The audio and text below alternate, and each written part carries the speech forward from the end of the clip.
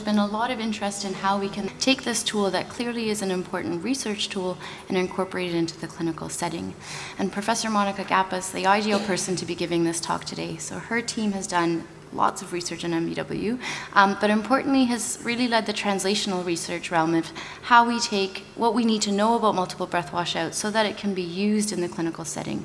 So her team have looked at things like the reproducibility and repeatability of multiple breath washout, have derived normative lung function data so that we know what the upper limit of normal is. And in addition, in her center and several other centers around Europe are now using MBW clinically. And so she's able to give us a lot of insight into some of the challenges as well as the um, factors that we want to consider when we're using this test clinically. So without further delay, um, I'd like to introduce Professor Monika Gappa, who will be giving the session today.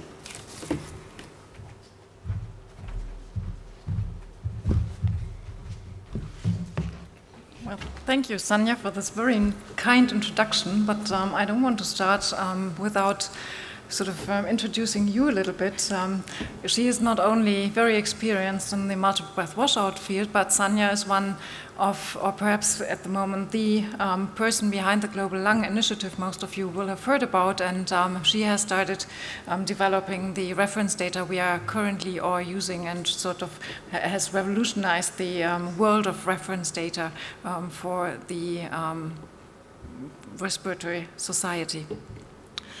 So, um, ladies and gentlemen, I'm talking about multiple breath washout and the lung clearance index in a standard clinical environment. When we have started, like um, almost decades ago, it feels, um, this was far away from standard clinical environment, and um, we have come quite a long way. And um, yes, I think it is ready now to go into clinical practice. So um, what I want to do is give you some background, extend a bit on what um, Sanja has briefly um, mentioned. What do we measure when we um, use multiple breath washout and what is the general purpose of using yet another lung function test? Then um, some practical issues. How do you actually do it before you go and sit down and try to do an actual test? Um, I will lead you through the test procedure so you know what to expect um, um, when, you, when you actually perform the test. Then I've got some clinical cases from our pediatric um, respiratory unit, um, and then I will briefly talk about current and potential applications for this um, lung function test. I'm a pediatric um, pulmonologist, and for pediatric respiratory medicine, the um, multiple breath washout started um, more than 10 years ago now when Per Gustafsson published this um, paper in the European Respiratory Journal where he had measured a group of cystic fibrosis patients from Sweden and compared them to healthy controls. And you see here the healthy controls as open circles and the cystic fibrosis patients across this age range from preschool to um, young adulthood um, as closed circles or dots. And what you see is that there is a huge overlap, and that you can, um, for most patients, you can't clearly divide between patients and controls. And in this group of a similar group of patients, he has also used multiple breath washout. And um, from the, the, most commonly used parameter until now is the lung clearance index. And here you see that there is a clear distinction, even at a very young age, with most cystic fibrosis patients above this upper limit of normal for the lung clearance index. So now, why is that? And it was also um, Per Gustafsson who um, said that the lungs are not really designed to perform forced expirations, but they are designed for gas exchange. And if you look at this um, lung model here in the background, you see how complicated the lung is. And gas exchange really takes part in this most peripheral part of the lung. Um, if you look at the lung anatomy or scheme of the lung anatomy, you see that we have at least 23 generation of airways, conducting airways, and then in the acinus, uh, uh, some generations of intra-acinar airways. And if you think about spirometry, um, using spirometry, we will only detect changes probably down to the eighth generation of airways. And then there is a much larger number, a much higher number of airway generations, which are not really reflected by spirometry. These are the small airways, and they can be assessed using multiple breath washout. Small airways are those with a lumen of less than 2 millimeters in adults, and they cover 95% of the total lung volume, and yet they contribute very little to resistance, and that's why they are sort of silent for most commonly used lung function techniques, and especially spirometry. Multiple breath washout is a global measure of how efficiently um, a marker gas is cleared from the lungs. And as I said already, the lung clearance index is, is the most popular parameter of the multiple breath washout technique, and it tells you how much volume is needed to exchange all nitrogen that is resident within the lungs um, for another gas. And in our instance, this is simply oxygen. So how long does it take until all nitrogen is washed out and replaced by pure oxygen? And it's calculated by the cumulative expired volume. So that is the sum of all breaths you take for this washout divided by functional residual capacity.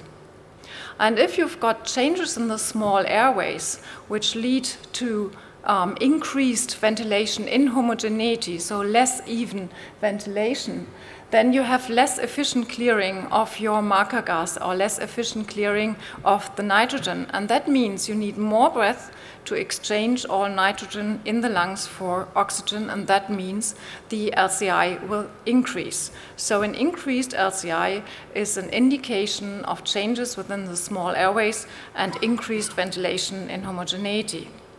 And this is just an example from a healthy subject where you see you only need a few breaths. Here you've got um, nitrogen washed out, and you need a few breaths to clear the lungs from the nitrogen. And in a patient, and I don't want to go into detail here, but you see it takes much longer. You need um, almost double as many breaths to lower the nitrogen concentration um, until a full washout is reached, and this in turn will give you a higher LCI. Equipment and preparation is quite simple. For a nitrogen washout, you just need an oxygen, ideally wall supply, but you can also use a pressurized gas within a um, cylinder. You need a nose clip, like for most lung function tests, and you need a quiet environment. And then um, you can almost start. You have to explain the test procedure to the patient. You take height and weight, like for every other lung function test. You check ambient conditions, which will take, be taken automatically by most systems, enter patient details, and then start. It is a non invasive test. There is obviously no risk involved, and especially in the pediatric patients, you have to tell them it doesn't hurt the test is usually performed in an upright sitting position, and all you um, tell the patient initially is that they breathe, have to breathe in a very relaxed and natural manner. Um, you also have to tell them that they have to keep the mouthpiece in their um, um, in their mouth during the test and have to try to keep the lips tight in order to avoid leaks. They are certainly not allowed to laugh or speak during the test because that will give a leak.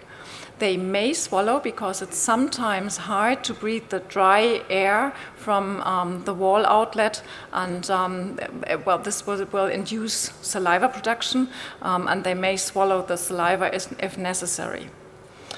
Um, when we did start with these measurements, we have used videos or DVD films to distract the patient, but in the meantime, we find that is helpful. This is helpful in some patients and not in the other. So you have to find out whether you want to use videos to distract the patient during the measurement. As you can see here, um, you can do it in adults as well as in children down to approximately age four. So once you've instructed the patient and the patient has the nose clip and the mouthpiece, you start with simple tidal breathing. And here you see an example um, of a screen um, where you should have an indication of flow and volume and an indication of your gas and your gas concentration, which you see here. Here you see the tidal breathing, and once you've established tidal breathing, you switch the patient uh, for the tidal breathing. Um, for adults, you aim um, to reach a tidal volume of around one liter or 10 to 15 milliliters per kilogram body weight. Once you've established tidal breathing, you can then switch into the oxygen. And you will see when the patient takes the first breath of oxygen that the gas concentration um, goes down here, and then the next breath um, will have less nitrogen um, during the washout, and you continue the washout until, until nitrogen reaches almost zero. And this comes here. You see the nitrogen concentration going down. You see that here as well.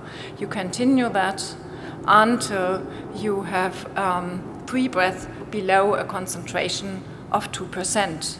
And then the, the results will be calcula calculated if you use an, an, automated or commercial device, and you will get um, a result for the FRC, a result for the LCI, for the cumulative expired volume, uh, as an example, what you should check for for quality control. And then you have to wait um, until the patient or the subject has cleared the lungs from the marker gas or from the oxygen, and then you can repeat the test. And usually you do this three, two or three times if you've got repeatable measurements, uh, and that means the FRC has to be within 10% um, of each other. Now let's go back to the clinical application. You've seen this slide already, the very first publication in cystic fibrosis patients with um, sort of modern um, devices. And this um, result, this finding has been replicated by numerous groups since, and I think this is such a success story, and I find this slide so impressive that I want to show it to you. Um, this is from all different research groups all over the world, where um, you have here the LCI in um, cystic fibrosis patients and healthy controls, and you find that the results for the healthy controls, irrespective of the age um, this has been measured is quite similar. And for the cystic fibrosis patients, um, you find that there is a significant difference um, no matter in which lab and which research setting this has been measured. And I've brought you a few cases from our own cystic fibrosis clinic and show you how we use it.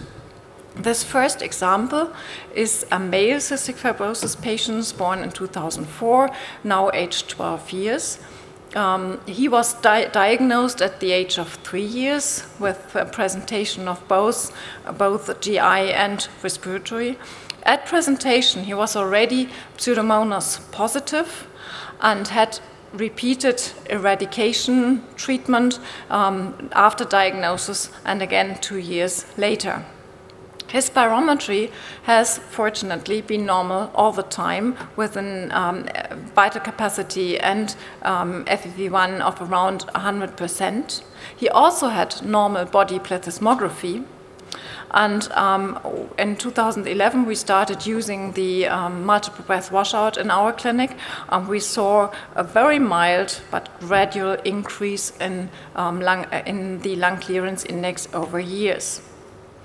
In 2011, we also started to do routine low-dose CT scans in our cystic fibrosis patients, and from 2011 to the next scan in 2014, we saw a mild increase in um, bronchiectasis in this patient. In 2015, he um, got mucoid um, Pseudomonas cultured, um, intensified, we intensified treatment, including intravenous treatment for four times during one year.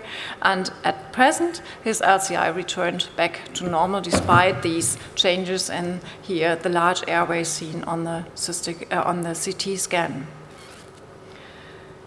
So I think this is an example that um, the um, lung clearance index sort of um, reflects what's going on clinically um, in these patients.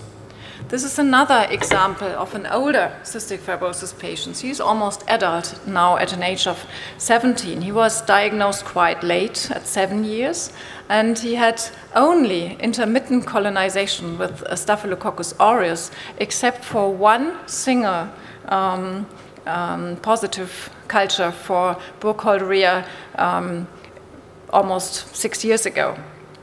he had normal spirometry all the time, and normal means well above 100% predicted, and also had normal body plethysmography.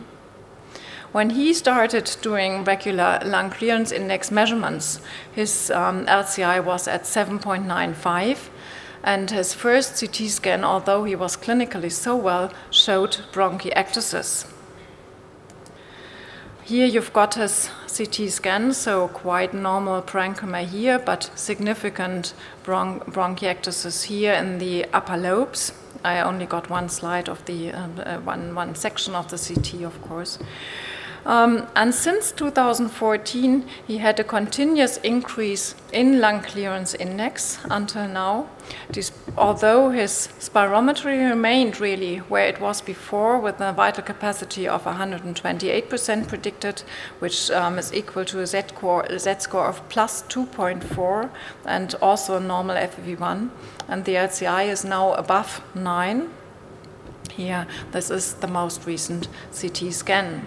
Now, unfortunately, this boy, um, he is almost adult, so we are discussing these results um, with the um, intention to um, do more intensive diagnostic workup, including bronchoscopy, because we uh, couldn't get any secretions from him and look for um, bacteria, which we wouldn't get from a deep throat swab, but um, he doesn't want to undergo bronchoscopy, so we don't know what's going on here. Um, but again, as an example, the LCI indicates much better than spirometry that there is something going on and that we should start treating this boy more intensively than we do at the moment. And another case from the cystic fibrosis um, clinic, an, um, a school child, a female patient this time, aged nine years now. She was diagnosed at birth with meconium ileus. Um, she had Staphylococcus aureus for most of the time, just intermittently. She also, like most pediatric patients, has normal spirometry and normal body plethysmography. She had a first positive culture for Pseudomonas a bit more than a year ago. And unfortunately, early eradication treatment failed in this patient, and she's now chronically colonized with Pseudomonas, but it's still a non mucoid strain. On CT, she has very mild bronchiectasis, um, uh, has mild bronchitis, but no bronchiectasis, which is different from the other two patients I showed you. And um, in this patient, the um, multiple breath washout and the lung clearance index remained normal throughout. So again, reassuring us as clinicians that this patient might have um, Pseudomonas colonization, but with the treatment we currently do, we keep everything under control. No major changes on um, CT, certainly no changes in spirometry, and also um, reassuringly a normal LCI despite this um, bacterial colonization. Now, um, I think the correlation between structural changes seen on CT and functional changes um, is quite important in cystic fibrosis. And um, we have actually done a study where we have looked at that in a group of patients with very mild cystic fibrosis lung disease, all with an FEV1 of above 80% predicted. And um, we have seen or we have been able to show that um, the LCI really correlates much better with structural changes seen on the CT than spirometry. And this, um, I hope, um, I have been able to show you from our clinical cases as well. Also, the observation that um, depending on the nature of bacterial um, colonization or bacterial um, cultures in cystic fibrosis patients has been um, published in a bigger study from the Bern um, department um, in Switzerland, where they have shown that there is a correlation between the lung clearance index and um, Pseudomonas, status of Pseudomonas infection, where um, the patients who've never had Pseudomonas grown from their microbiology cultures have a lung clearance index which is almost or very similar similar to um, that seen in healthy controls. And as Pseudomonas infection goes on, being intermittent to chronic, there's an increase in lung clearance uh, in the lung clearance index, sort of reflecting the status um, of the patient. And one other thing, which I think is very important to remember when you start introducing um, multiple breath washout into your clinic, the lung clearance index has prognostic value for the patient. And this is data um, from the London Cystic Fibrosis Collaborative Group, where they have collected um, lung function data in preschool children and then retested um, at school age. The um, LCI measured during preschool years um, predicts um, the outcome for the lung clearance index at school age. So those with a normal LCI at preschool age are very likely to remain normal to school age. So when you have a patient with um, normal preschool LCI, they are much more likely to end up with normal um, spirometry at school age, whereas those um, those patients with a high abnormal LCI during preschool years, they will end up with abnormal spirometry in school age. So these are the patients we then have to really worry about. Now, cystic fibrosis is one topic for multiple breath washout, but um, if you look at PubMed, you will find that there is an increasing number of publications for the lung clearance index, and that this is just the result. When you enter lung clearance index, you see the increase in publications until 2015. Obviously, 2016 will be even more because this is only half the year reflected here.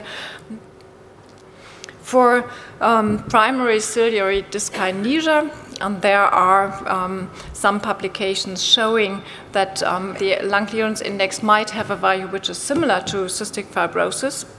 Um, the sensitivity compared to spirometry as well as compared to computed tomography is really similar to that in um, patients with cystic fibrosis. And for PCD patients in, in, the clinical context, I think this means that if you find an increased LCI in these patients, you need further diagnostic workup because you have to suspect worsening lung disease and might have to intensify your treatment.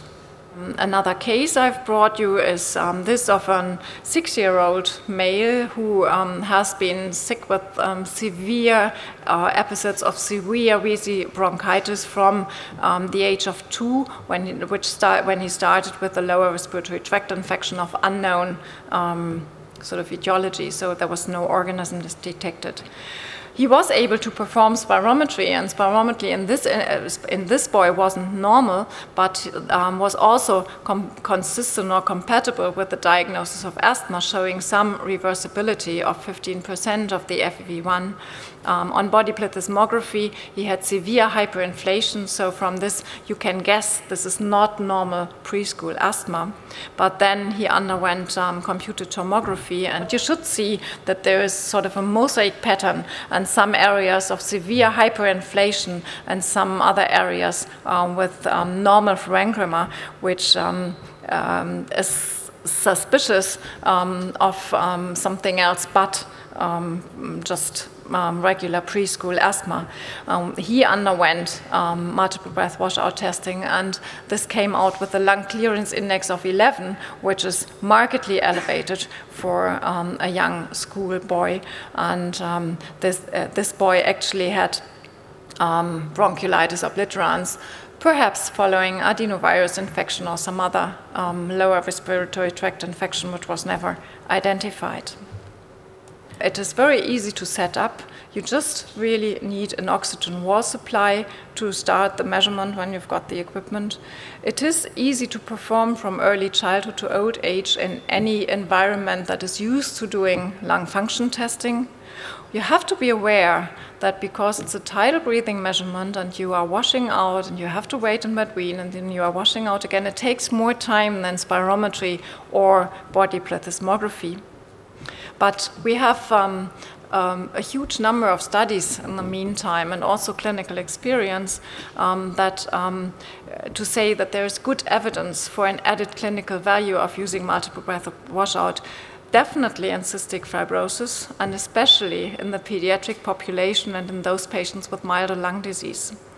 This is probably similar for um, PCD there are increasing applications in adult diseases like um, COPD or um, chronic heart failure. So I think it is time to say um, that you should start using multiple breath washout and the LCI to better understand your patient's problem, especially if you think there is a patient who might have problems within the so-called small airways. And that was all uh, before you go for the practical measurement now. Thank you. So we will um, take a few questions before we move on to the practical session, and then we'll split you into two groups so you can have a look at the machine and, and test your own LCI. Thank you very much for this presentation. Do we have any studies showing that management based on LCI is doing better than managing with what we use uh, actually at the moment? That is a very critical question, and I was sort of expecting that.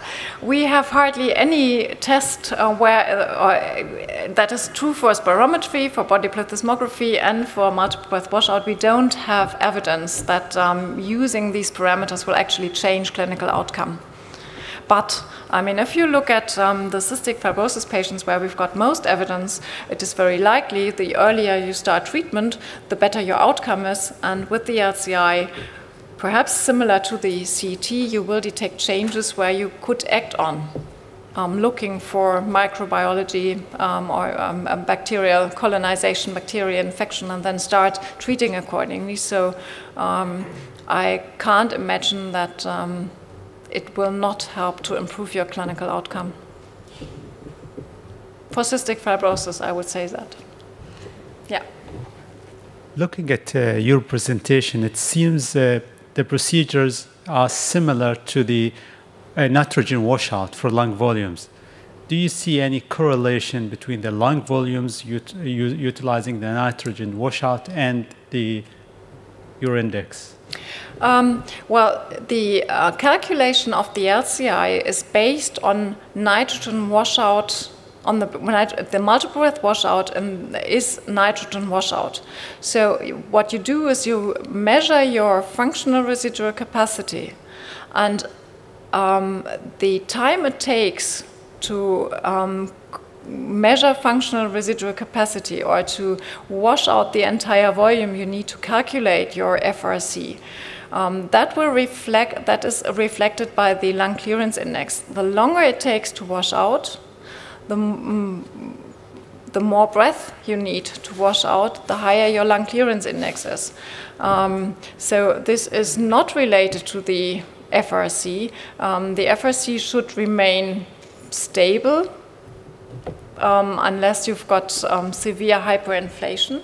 Um, and the lung clearance index will reflect um, well, the, the, airways and, and, the way the washout, um, the, the, the lungs are ventilated.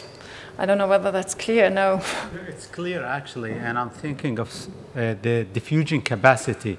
So the DL, we, we do the DLCO to see how good is the lung uh, diffusion capacity, and the nitrogen washout. You see how much it sort of it takes for the lung to clear up the nitrogen. Yes. So I would think maybe in adult there would be some correlation. If you, anyone can uh, that is a very interesting question, especially in more in the more adult type lung disease. If you think about um, COPD, you will um, get more information when you combine these two measures of DLCO and um, the um, lung clearance index I expect because um, yeah, it's um, small airways and um, gas exchange at the alveolar level is, is different and will add to a fuller picture of a full picture of the disease. Yes.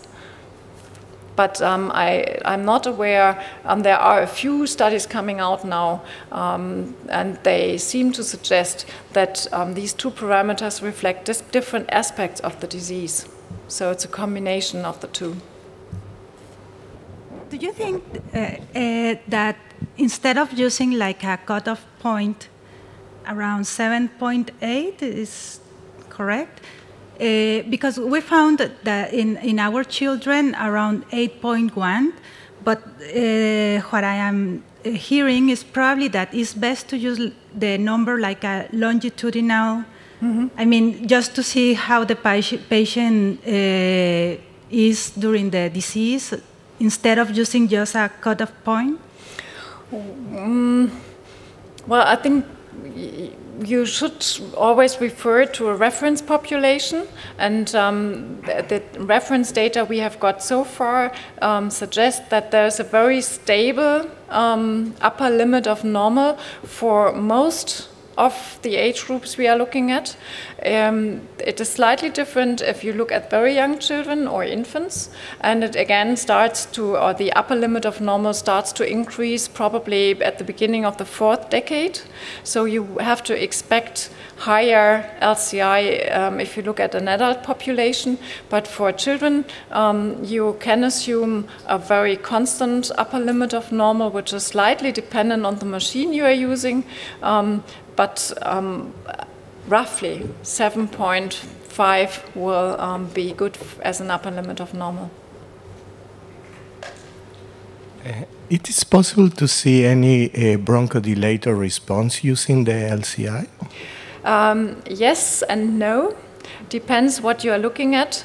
Um, it's probably the least good technique for asthma and it will not replace other lung function measures in um, patients with asthma.